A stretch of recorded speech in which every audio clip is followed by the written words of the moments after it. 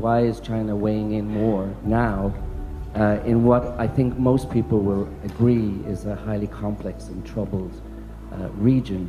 你注意到中国最近一段中东外交更加活跃。实际上，我们在中东促进和平的努力从来就没有缺席过。我曾经跟有些外国朋友谈到过，八年之前，国际上的舆论曾经为溺亡在叙利亚海滩上的一个小男孩非常激动。但是现在更大规模的悲剧正在加沙发生。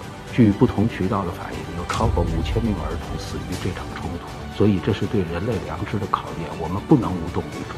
这一段时间，随着加沙冲突的爆发，中东面临的问题，中东的冲突的潜在风险在不断上升。我们一定要努力的为结束这场冲突做点什么，说点什么，尽我们最大的努力。这就是这近期中国在中东外交。